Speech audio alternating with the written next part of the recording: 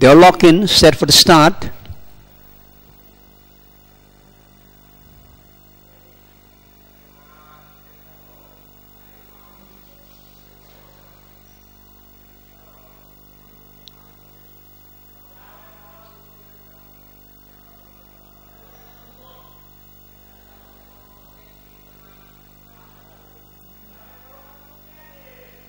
Set for the start.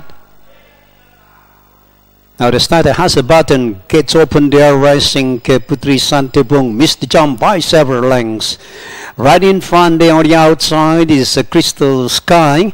Naomi on the fence, then the Singamata Boy, then followed by the inside the uh, Bujang Si Gondoi. Along the insides KJ Ria, then Supergirl followed by Sundukan. Running in the center, along the inside Zoro, then come Putri Santubung and Flower Strong is now the trailer of the field day. The race past the first corner in front, Singamata Boy is leading the field at the moment. Then to Naomi following the leader. Bujang Sigondoi seems dropping uh, back. And one on the outside, Putri Santubung showing speed along the inside. Then followed by Supergirl. In front, the top of the straight between the Crystal Sky and Singamata Boy going neck to neck.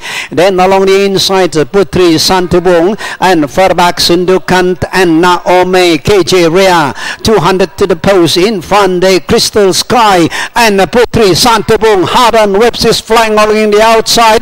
Putri Santubung and the Crystal Sky. Crystal Sky, Putri Santubung storms to the late and Putri Santubung is well cleared. And along the inside, Crystal Sky and Flower Strong is going there. But in front, it's uh, Putri Santubung wins. Flower Strong second and third is Crystal Sky. And then uh, followed by the Sundukan, Zoro and Singamata Boy Naomi, KJ Ria. And uh, is Supergirl. And uh, last of all there, it's Bujang Sigondoi.